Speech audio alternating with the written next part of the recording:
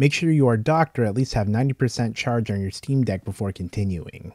Head over to desktop mode. I'll be using a mouse and keyboard for ease of use. You must have EmuDeck set up prior to this tutorial. If you don't, please see the link in the description on how to install EmuDeck. We will start with installing the firmware for our RPCS3. Open Firefox. Go to the PS3 update site. See the description for the link. Download the PS3 update. Click over in Firefox. Hit Allow Download. When finished, the PS3 update file will be saved in the Download folder. Open Discover. Type in the search RPCS3 and hit Enter. Click on it in the results. Hit Launch. Navigate to File, Install Firmware. Under Places, in the Downloads folder, select PS3 updat.pup and click Open. It'll take a while to compile the PPU modules. I sped up the footage here. When finished, delete the firmware file from your downloads. Let's head over to the PC to get some games. Grab a thumb drive, the bigger the better. Select it.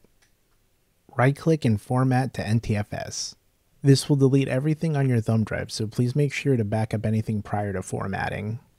Navigate to the games that you want to transfer. I'll show you the two common package types, and later I'll show you one that's not as common. This game is dumped from PSN. You can tell by the file structure. RPCS3 will read this game without any extra steps. I highly recommend the PSN dumps if you can get your hands on them. Next are PKG files. They are accompanied with a RAP file. You can think of the RAP file as a key to unlock the PKG file. What this means is if you install the PKG file and not the RAP file, when launching the game you'll get an error. Navigate to the games that you want on your Steam Deck and copy them. Next, paste them into your thumb drive. Plug the thumb drive into your dock. If you do not have a dock, use a USB-A to a USB-C converter. See description for details. Navigate to the thumb drive you put in. Select everything you would like to transfer. Then right click and hit copy. Head to your default PS3 ROM directory. Mine is in my microSD card under primary, emulation, ROMs, PS3, and then right click and paste. This will take a while. It took me about an hour.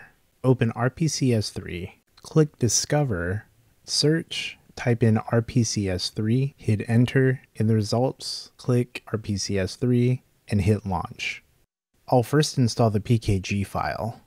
Click File, Install Packages and Raps. Locate your PKG. Mine stored under Primary, Emulation, ROMs, PS3. Select the file and hit Open.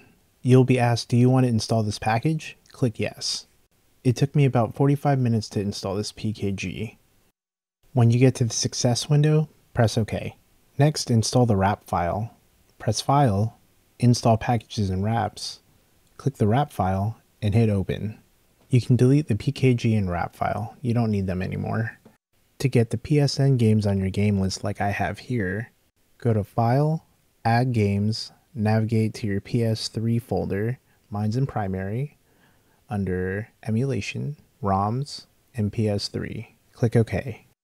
To find out what games are playable in your game list, right click any game and click Download Compatibility Database.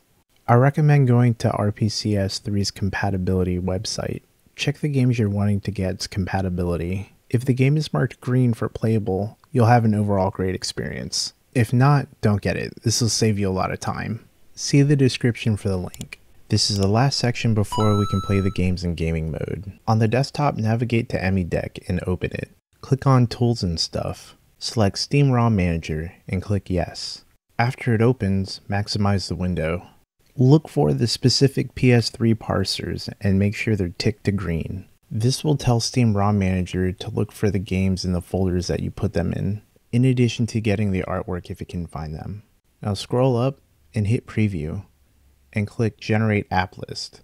This will make the games viewable in gaming mode. If done properly, you'll see your games in the PS3 section. Let's check.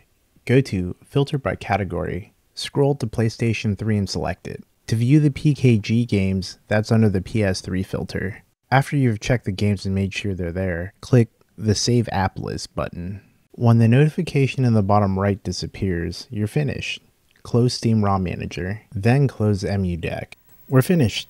double click on Return to Gaming Mode. To view the PS3 games you installed, go to Library, Collections, PS3. Now load a game. On first load, it'll take a while to cache your shaders.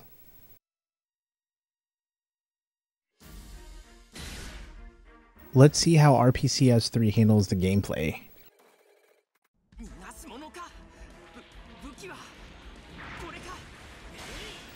I'm mostly getting 60 frames a second with drops to 50 here and there.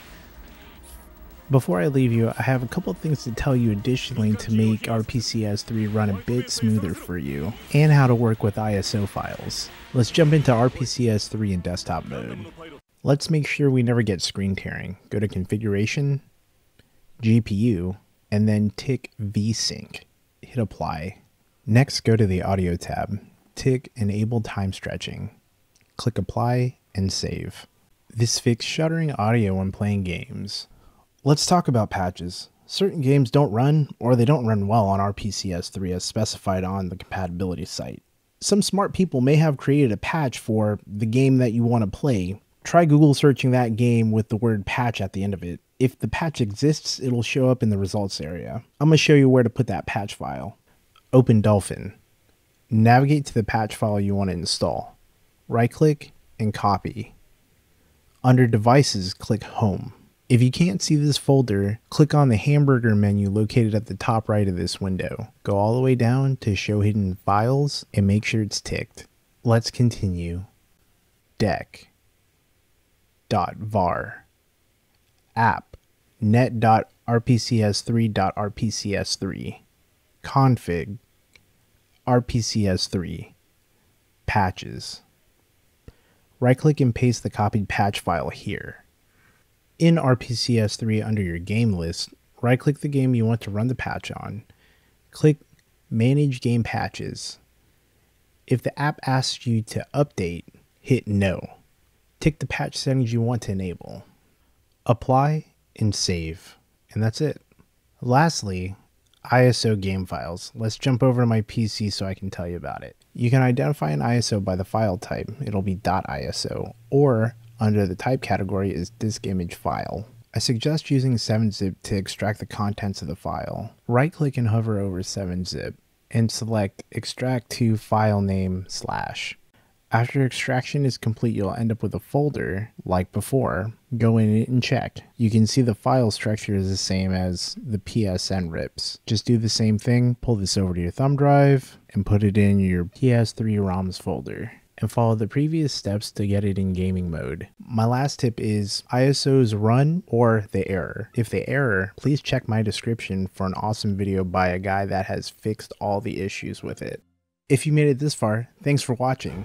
Please like and subscribe. Thanks for hanging, and I'll see you in the next video.